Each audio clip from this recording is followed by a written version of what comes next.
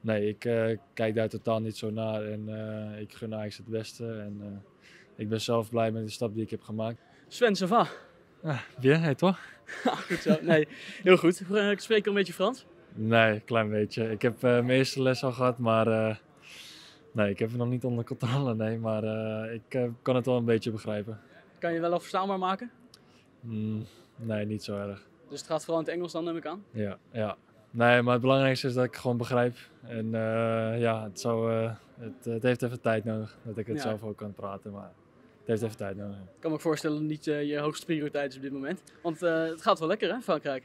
Ja, ja, gaat, ja het, ik heb mijn draai goed gevonden en ik speel veel. En ik ben ook stabiel, dus dat is ook lekker. ja, ik heb mijn draai gevonden, wat ik zei. En ja, buiten dat doe ik gewoon mijn ding. En het, waar het strandt. Is het dan sneller gegaan dan je had verwacht, dat je je plekje hebt gevonden? Uh, nou, ik had van tevoren niet echt uh, bepaalde verwachtingen. Had ik wel uh, natuurlijk hoop op speeltijd natuurlijk. En ja, dat het zo nu zo loopt, dat is extra lekker. En ja, alleen maar goed dat het zo loopt. Ja, en in de Europa League gaat het ook goed. Ja, ja. ja die afgelopen overwinning op AC Milan die was belangrijk voor ons. En nu staan we ook eerste daar. Dus voor de, deze periode met uh, Interlands en zo is dat wel lekker. Ja, Slatan Ibrahimovic, je weet nu ook wie Sven Botman is, hè? Ja, misschien wel, ja. ja Zo'n mooie wedstrijd.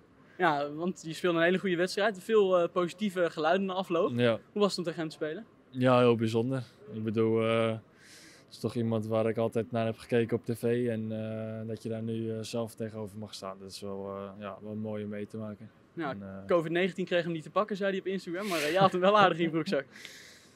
Ja, laten we nog maar niet te, te, vroeg juichen, want we hebben nog een wedstrijd te gaan. Maar uh, ja, die wedstrijd ging goed en we hebben de nul gehouden en we hebben gewonnen. Dus dat is wel, uh, wel zeker een mooie avond voor ons en uh, voor mij ook. Ik heb genoten. Ja, Ajax betaalde 8 miljoen voor jou terwijl je nog geen minuut in het eerste had gespeeld. Dat leidde tot verbazing. Ja. Ben nou, heb je het gevoel dat jij het ongelijk van heel veel criticasters aan het bewijzen bent in Frankrijk?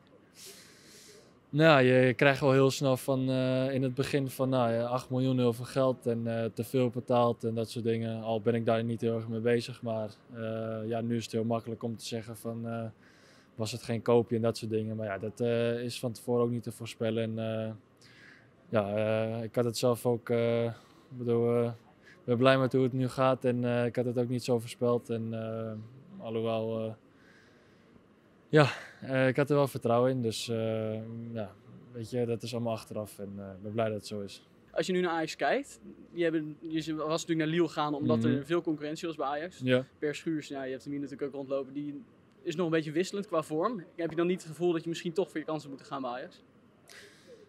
Nee, want het is ook allemaal achteraf. En op dat moment had ik het gevoel van, ik zit hier wel goed, alleen ik heb meer perspectief bij, bij Liel en ik had daar meer vertrouwen in. Ook dat ik dacht van nou, daar pas ik zelf beter bij. Dus nee, ik kijk daar totaal niet zo naar en ik gun Ajax het beste. En ik ben zelf blij met de stap die ik heb gemaakt. Dus nee, dat is helemaal goed zo. Kijk je alle Champions League wedstrijden van Ajax? Ik kijk wel veel terug van of terug, ik kijk veel van Ajax. Ja, ja en dan sport je ze nog wel, neem ik aan? Ja, ja, tuurlijk. Blijft wel een clubje? Ja, ik kom toch uit Amsterdam, dus... Frank de Boer die was lovend over jou. Ik weet niet of je het gehoord hebt op een persconferentie bij, uh, bij het Nederlands elftal. Ja, ik las zoiets, ja. Wat doet dat met je als je dat hoort? Uh, ja, dat is natuurlijk een heel groot compliment. Dat, je, dat hij je naam uh, noemt en dat je misschien wel een beetje tegenaan zit. dat is alleen maar een goed teken.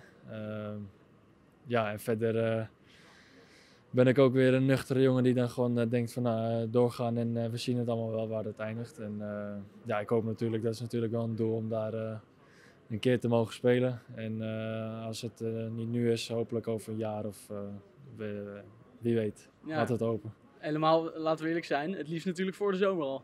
Ja, laten we het hopen, ja. Dat zou mooi zijn, ja. Heb je daar een beetje over nagedacht al? Is dan een stiekem hoop of durf je het ook wel uit te spreken dat je graag mee zou willen naar het EK?